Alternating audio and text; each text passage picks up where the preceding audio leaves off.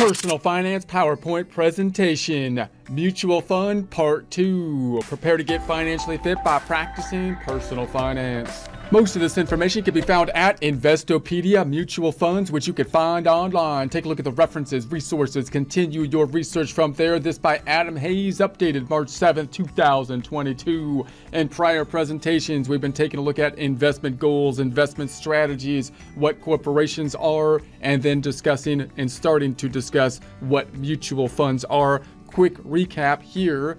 Corporations are going to be separate legal entities. So we as human beings gave basically corporations rights that we typically think of as human rights from a natural rights perspective, such as the right to own property, allowing us as shareholders to own shares then of the corporation of this separate legal entity. From an investment perspective, oftentimes we think of that corporation being on an exchange, larger corporations often participating in being on exchanges so that they can try to generate more capital to be on the exchange. The exchange usually requires that a corporation show some transparency in the way they're going to report the information so that investors have that transparency and that dependability, that trust in order to invest in uh, the corporations that are on, say, the exchanges. However, individual investors then still have an issue or a problem investing in individual stocks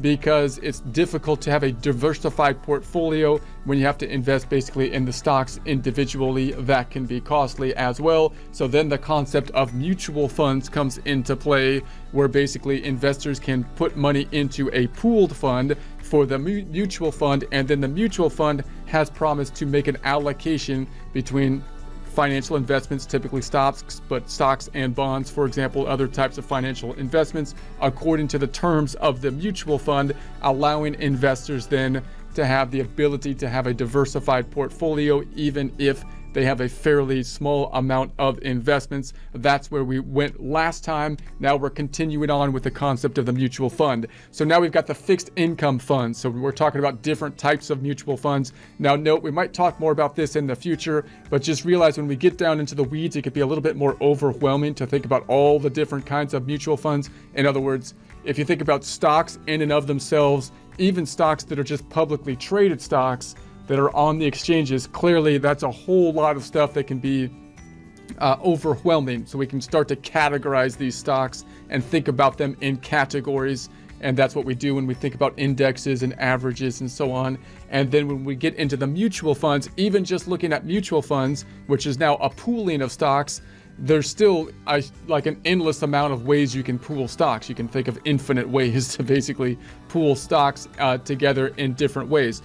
Uh, but so then we want to take these concepts into consideration in alignment with our overall investment strategy and our goals and our time horizons. For example, we might, from a more basic kind of strategy, use a mutual fund that has a targeted index fund that basically has a different mix that is accordance to our time horizon. And that's one way that we could really kind of simplify things if you want kind of a basic approach to still get a diversified portfolio. People will argue whether that's the best or ideal strategy or not.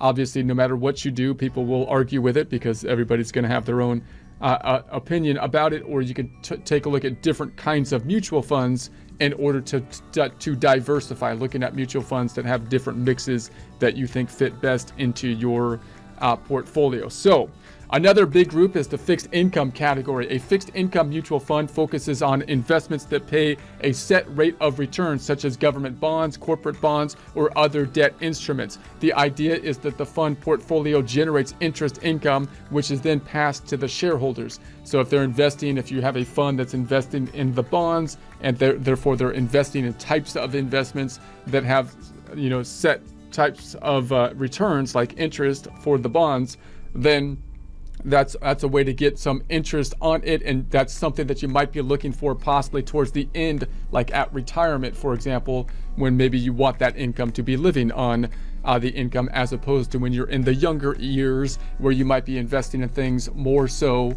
where they're going to reinvest and looking for the value of the stock to go up, not looking so much to be living on the income from it. So, sometimes referred to as bond funds, these funds are often actively managed and seek to buy relatively undervalued bonds in order to sell them at a profit. So these mutual funds are likely to pay higher returns than certificates of deposit and money market investment, but bond funds uh, aren't without risk. So note that when you're thinking about bonds, sometimes like if you're thinking about really kind of secure bonds, it can seem like a little bit more boring when you when you have a bull market or or a market that's going well because the equities uh, could have that potential for the greater growth. Uh, but obviously, they, they also have the potential to fall. So if you go into like a, a downturn, the bonds could be a, a, safeguard. Notice that historically, from this point, uh, we've had historically low rates for for quite some time. So you might look at the bonds and, the other types of investments that have interest, like certificates of deposits and savings accounts and whatnot, and say, "Wow, I'm getting like nothing in terms of returns." But the interest, but the inflation rate and the interest rates uh, inflation has also been low as well.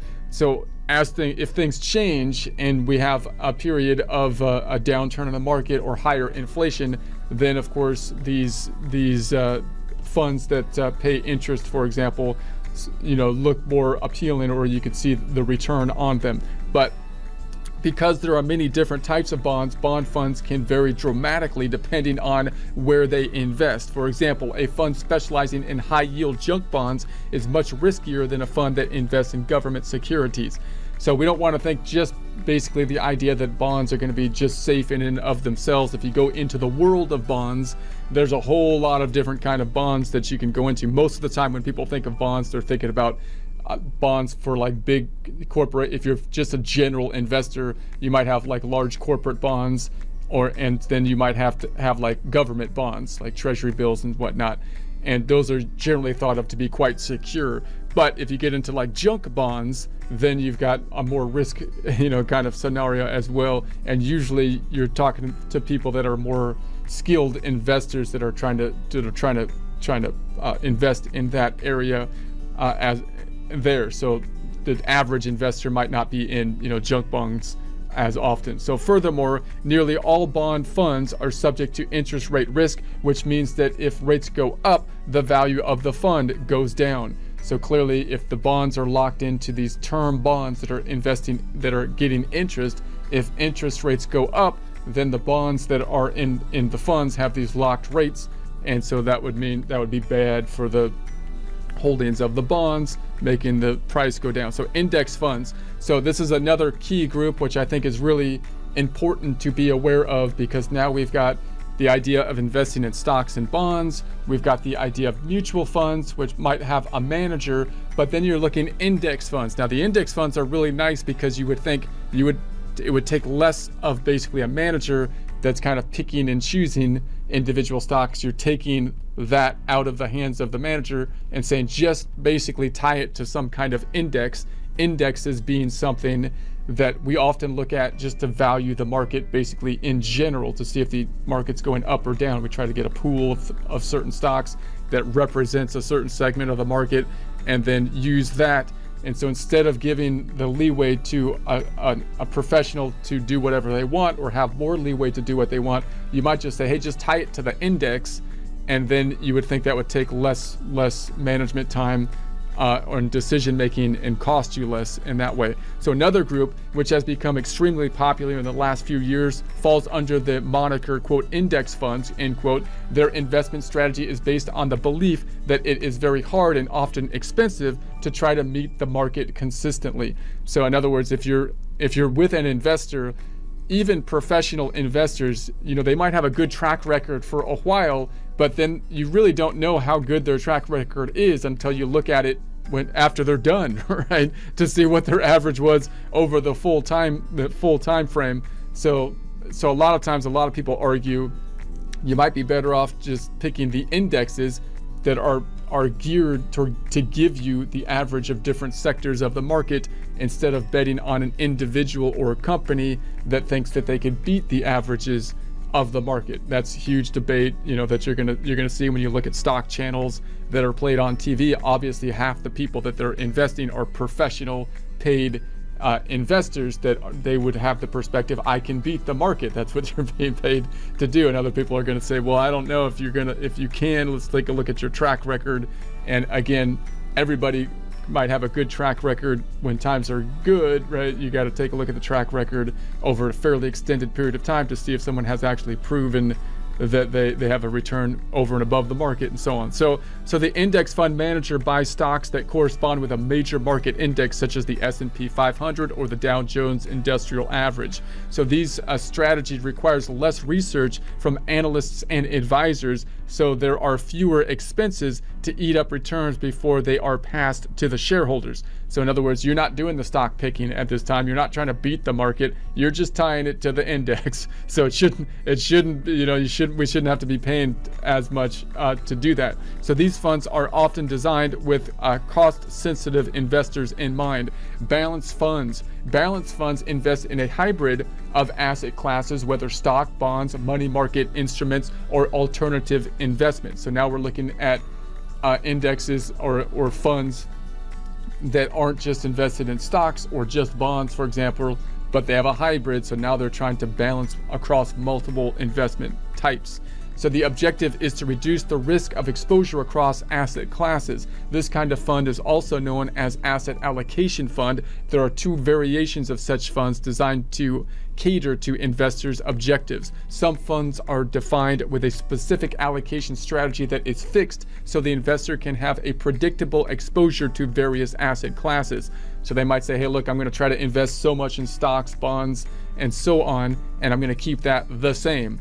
Other funds allow a strategy for dynamic allocation percentages to meet various investor objectives. These may include responding to market conditions, uh, business cycle changes, or changing phases uh, of the investor's own life. So the most common one there might be the one that for mo most individuals, you might be looking at the one that's going to change with your own life. So meaning your retirement age is coming up. So typically you might choose one fund now, and this would be the most simplified type of thing to try to get an investor that wants to just invest in a diversified portfolio without, you know, getting way complicated, too complicated at it. They might just say, I'm trying, to, I'm just going to look for a fund that has an appropriate mix. Uh, uh, and this, of course, would be according to the fund, right? It has an appropriate mix according to my expectations in terms of when I'm going to basically reach retirement, and then it will shift as I get closer to retirement. Hopefully, doing so in such a way that's optimal mix for my my age and how close I am to retirement. So that's one way you know you can kind of simplify things and still hopefully be be basically uh, diversified and try to say I'm just gonna you know I'm gonna put my money all in in that one place. Uh, if you have multiple different, you might try to expand your strategy by having index funds that have different fixed mixes and then you can try to invest in the index funds as you get closer to retirement in such a way and adjust your own mix that you think is most uh, appropriate given your age and and time frame and time horizons. That gets of course a little bit more complicated. If you use tools online these days like the personal capital tool it could try to take some of these these funds that are grouped together and and show you what your overall asset allocation is which might help you to to do your own kind of asset allocation which you and customize it a bit more. Obviously if you use a target fund then you're kind of dependent on whatever the target fund thinks is the ideal asset allocation which you may or may not completely agree with. There could be some leeway with it. But in general while the objectives are similar to those of a balanced fund dynamic allocation funds do not have to hold a specific percentage of any asset class so the portfolio manager is therefore given freedom to switch ratio of asset classes as needed to maintain the integrity of the fund's uh, stated strategy. Now notice as you give the fund manager more freedom to do things, then you're taking out a little bit more risk because now that depends on the quality of the fund manager depending on how what kind of freedom they have and uh, and so, and it might cost more to do that, of course, because now they're they're making their own decisions as opposed to just tying it to an index fund. So, money market funds. The money market consists of safe, risk free, short term debt instruments, mostly government treasury bills. So, this is a safe place to park your money. So, you're not going to see a lot of, uh, you would think, you wouldn't see a lot of ups and downs on this one as you would in like equity funds.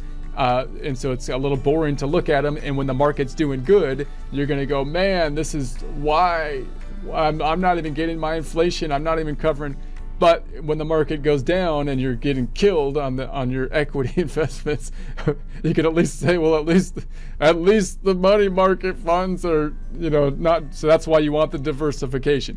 So uh, you won't get substantial returns, but you won't have to worry about losing your principal. A typical return is a little more than the amount you would earn in a regular checking or saving account and a little less than the average certificate of deposit. Again, you might be saying, hey, I earn almost nothing in my checking or savings account, even the certificate of deposit at this point in time. And that's because the interest rates have been kind of historically low for a long time. But if we hit a period of inflation, then you're going to see interest is going to be playing, you know, a bigger factor if that uh, uh, takes place. So while money market funds invest in ultra safe assets during the 2008 financial crisis, some money market mo- funds did experience losses after the share price of these funds, typically pegged to a dollar, fell be- below the level and broke the buck. Uh, uh, income funds. So, income funds are named for their purpose to provide current income on the steady basis. These funds invest primarily in government and high quality corporate debt, holding these bonds until maturity in order to provide interest, uh, interest streams. So, notice that you might then be investing typically later on in life so now you're in retirement possibly and you're living off your investments. You're saying, I got my money in my investments. I want to live off the earnings of that money. Therefore, I can't invest all my money perhaps in things that are still growing because they're not going to pay dividends. If I put my money into growth stocks, those stocks are putting the money back into the company, hoping to increase the share price as opposed to giving dividends and, and so rather I need to put my money in types of of of uh, investments that give me a return like interest and dividends, which I can hopefully live on.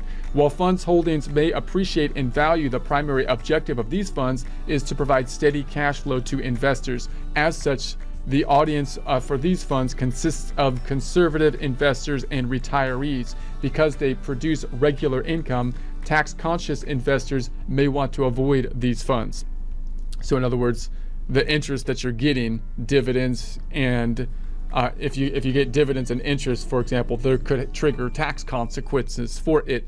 So so if you if you if on the other hand you're investing in companies that reinvest the dividends and interest, then you're getting an increase in the value of the stock, which should increase your stock price. And you might think, well, isn't there a tax consequence on that? There will be when you sell the stock but you get to defer the tax consequence and have some control over when it will happen by determining when you sell the stock. And then you'll have capital gains. So, international global funds. An international fund or foreign fund invests only in assets located outside your home country. Global funds, meanwhile, can invest anywhere around the world, including within your home country. So now you might start thinking, I would like to get some exposure to places outside of the United, if you're in the United States or wherever your country is. But if you're in the United States, you might say, I want access to funds that are outside of the United States specifically. And you can try to determine, you know, what what percentage you would want outside. So if you have all of your holdings within the United States, you might then pick a fund that has withholding specifically outside of the United States in some way to get that kind of diversity. Or you might try to pick a fund in general that has a mix most likely weighted heavily in the US and then have some outside. And again, why would you want US stocks and outside stocks? One of the reasons a lot of the capital comes into the US is not because the potential for growth is the maximum potential. You would think, just like with small companies, you would think the biggest potential for growth would be the the countries that are that are catching up in terms of industrialization and whatnot, because they have the biggest growth potential. But they don't have as much transparency and, and so on, and they might they're gonna have they might not you know do do well in the in the short term and so on. Whereas in the U.S. we're kind of like the the company that's already at the top, like a like the electric company, like an Edison or something like that. You wouldn't expect growth to jump up possibly all the time, but you you might say that uh, that uh, that there's good transparency in in the markets and the exchanges are quite transparent and so on. So you kind of have trust in the returns, which is one of the reasons we're able to kind of draw in a significant amount of capital. One of the reasons you want, want a significant amount in, you know, trustworthy exchanges and so on. So in any case, it's tough to classify these funds as either riskier or safer than domestic investments, but they have tended to be more volatile and have unique uh, country and political risks. So obviously, the risks in other countries are going to be different and diverse, possibly larger, but again, you might have exposure to larger gains and you might have some diversification that could be useful because if some parts of the country go down and you have some diversification in other parts of the country, then that could give you that same kind of uh, uh, protection possibly as other types of diversity does. So on the flip side, they can, as part of a well-balanced portfolio, actually reduce risk by increasing diversification since the returns in foreign countries may be uh, uncorrelated with returns at home. So, although the world's economies are becoming more interrelated, it is still likely that another economy somewhere is outperforming the economy of your home country. So in other words, you would think that they that there's interdependence on on a lot of the world stage these days. But again, at, at this point in time, it looks like the supply chains and so on are, are going in reverse a less less global uh, economy kind of kind of thing, and people are kind of kind of being a little bit more uh, self or independent at this point. So interesting dynamic. Specialty funds. This classification of mutual funds is more for an all encompassing category that consists of funds that have provided that have proved to be popular but don't necessarily belong to the more rigid categories we've described so far. These types of mutual funds forego broad diversification to concentrate on a certain segment of the economy or targeted strategy. Sector funds are targeted strategy funds aimed at specific sectors of the economy such as financial, technology, health, or so on. So now you're looking at the funds by sector.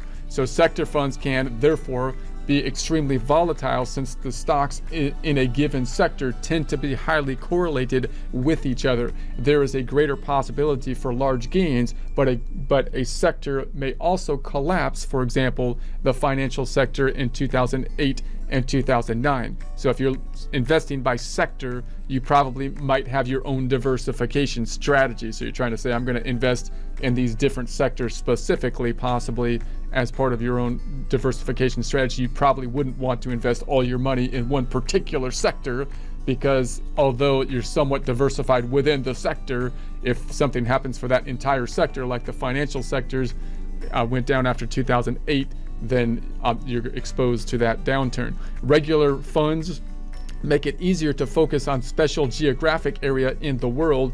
Uh, this can mean focusing on broader region, say Latin America, or on individual country, for example, only Brazil. An advantage of these funds is that they make it easier to buy stock in foreign countries, which can otherwise be difficult and expensive. Just like for sector funds, you have to accept the high risk of loss, which occurs if uh, if region goes into a bad recession. So, uh, socially responsible funds or ethical funds invest only in companies that meet the criteria of certain guidelines or beliefs. For example, some um, some socially responsible funds do not invest in sin industries such as tobacco, alcohol, beverages, weapons, or nuclear power. So these have kind of been more popular uh, in the current uh, going in, in, the current time series to say, well, what is the company actually, you know, investing in? I don't want my mutual fund to be investing in things that I, I personally don't like, uh, and so you could try to. And if and if you just invest in a mutual fund, that can be kind of difficult to do because again, the mutual fund's going to be investing. You might give them leeway to invest in whatever they want. You might look at it and say, ah, they're investing in some stuff that I don't think is a, a, beneficial thing to do. So you could start looking into that in terms of setting your investment goals as well. The idea is to get competitive performance while still maintaining a healthy conscience. Uh, other such fund invest primarily in green technology such as solar and wind power or recycling. So exchange traded funds, the ETFs, A twist on the mutual fund is the exchange traded fund, the ETF. These ever more popular investment vehicles pool investment employee strategies consistent with mutual funds, but they are, are structured as investment trusts that are traded on stock exchanges and have the added benefit of uh, the features of stock. So, for example, ETFs can be bought and sold at any point throughout the trading day. ETFs can also be sold short or purchased on margin. ETFs also typically carry lower fees than the equivalent mutual fund. Many ETFs also benefit from active option markets where investors can hedge or leverage their position. ETFs also enjoy tax advantages from mutual funds Compared to mutual funds, ETFs tend to be more cost effective and more liquid. The popularity of ETFs speaks to their versatility and convenience. So notice a lot of these kind of kind of activities here are, are, are geared possibly towards people that are doing more uh, active kind of trading. So, so some of those kind of things, if you're in the, the market for the long term, might not be things that are that are going to sway your opinion between the ETFs and the mutual funds if you're doing more active day-to-day types of trading trading kind of on the short term then you got some more some of those components might be more appealing. So mutual fund fees a mutual fund will classify expenses into either annual operating fees or shareholder fees. Annual fund operating fees are an annual percent of the funds under management usually ranging from 1 to 3 percent. So the fees are going to be an important thing to be comparing when you're looking at the different investment options. Annual operating fees are collectively known as expense ratio. A fund's expense ratio is the summation of the ad advisory or management fee and its administrative costs. So shareholders fees which come in the form of sales charges, commissions, redemption fees, uh, are paid directly by investors when purchasing or selling the funds. Sales charges or commissions are known as, quote, the load, end quote, or of a mutual fund. When a mutual fund has a front end load, fees are assessed when shares are purchased. For a back end load, mutual fund fees are assessed when an investor sells his shares. Sometimes, however, an investment company offers a, a no load mutual fund which doesn't carry any commission or sales charge. These funds are distributed directly by an investment company rather than through a secondary market. Some funds also charge fees and penalties for early withdrawal or selling the holding before a specific time has elapsed. Also, the rise of exchange traded funds, which have much lower fees thanks to their passive management structure, have been giving mutual funds considerable competition for investors' dollars. Uh, articles from financial media outlets regarding how fund expense ratios and loads can eat into rates of returns have also stirred negative feelings about mutual funds.